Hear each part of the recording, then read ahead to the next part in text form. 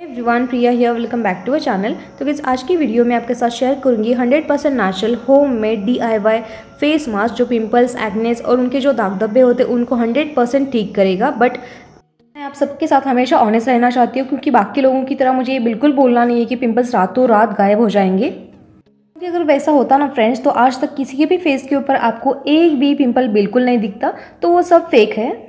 जाना अपडेट्स के लिए आप मुझे फॉलो कर सकते हो इंस्टा एंड फेसबुक पे। उसके लिंक्स नीचे डिस्क्रिप्शन बॉक्स में। फ्रेंड्स अब हम देखेंगे इस फेस पैक को कैसे बनाना है और जो भी चीज़ें मैं ऐड करूँगी, उसके बारे में डिटेल में इन्फॉर्मेशन मैं इस वीडियो में देने वाली हूँ। तो गैस प्लीज़ ये वीडियो आप एंड तक देखें। फिर सबसे पहले आपको एक क्लीन बोल में एक टेबल स्पून हल्दी पाउडर लेना है, क्योंकि हल्दी में होते एंटी प्रॉपर्टीज़ जो पिंपल्स के जो बैक्टीरिया होते हैं उन बैक्टीरियाज को किल करने का काम हल्दी करता है और एक बारी बैक्टीरियाज किल हो जाएँगे तो आपके पिंपल्स एंड एक्नेस भी क्योर हो जाएँगे। और साथ ही साथ हल्दी जो पिंपल्स और एक्ने के जो दाग धब्बे होते हैं, उनको भी धीरे धीरे कम कर देगा और साथ ही साथ आपका कॉम्प्लेक्शन भी इम्प्रूव हो जाएगा। बाद इस मास्क में आपको ऐड करना है एक चम्मच दही।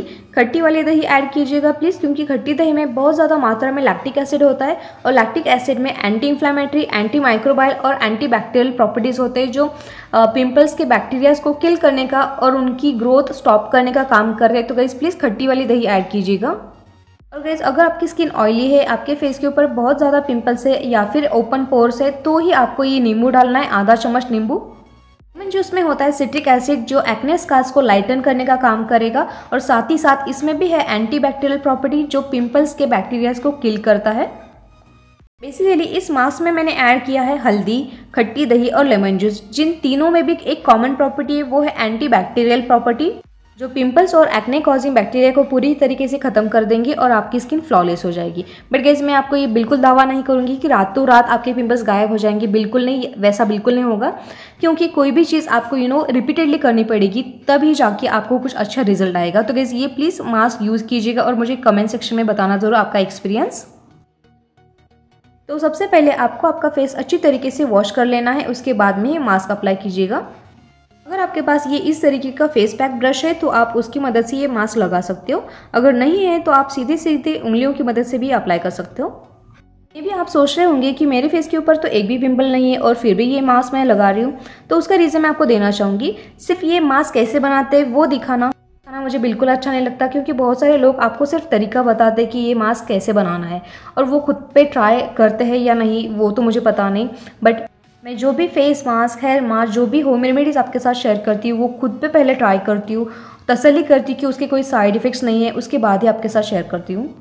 तो गैस अगर आपके फेस पे पिंपल्स है एक्नेस है, उनके दाग है तो प्लीज़ ये मास्क आप ज़रूर ट्राई कीजिएगा। और आपका जो भी एक्सपीरियंस हो अच्छा हो, बुरा हो, वो आप लिख सकते हो नीचे कमेंट सेक्शन में। जैसे कि मैंने आपको बताया, दही में और हल्दी में कॉम्प्लेक्शन इम्प्रूव करने की प्रॉपर्टीज़ भी होती है तो ये मास्क आप ये मास्क ईयर्स के ऊपर नेक के ऊपर अप्लाई कर सकते हो और सन टैनिंग रिमूव करने के लिए हाथों के ऊपर भी अप्लाई कीजिएगा। मास्क आप आपके फेस के ऊपर तकरीबन 10 से 15 मिनट तक रख सकते हो। और फिर बिना फेस वॉश का यूज़ किए सिर्फ़ ठंडे पानी से चार पाँच बारी आप फेस वॉश कीजिएगा। थोड़ा बहुत हल्दी के स्टेन्स आपके फेस के ऊपर रहेंगे डोंट वरी ये फेस मास्क अप्लाई करने के बाद तकरीबन तीन चार घंटे तक आप प्लीज़ फेस वॉश मत यूज़ कीजिएगा। और ये आप देख सकते हो रिज़ल्ट अच्छा आया है। एक बार यूज़ कीजिएगा और एक्सपीरियंस आप मुझे शेयर कर सकते हो नीचे कमेंट सेक्शन में और ये ग्लो देख सकते हो आप। तो गैस ये रहा आज का वीडियो और अगर आपको आज का वीडियो थोड़ा सा भी अच्छा लगा यूज़फुल लगा है तो प्लीज़ आप इसे लाइक और शेयर कीजिएगा। अब मिलते हैं नेक्स्ट किसी यूज़फुल वीडियो में। तो thanks for watching see you soon my next video till then take care bye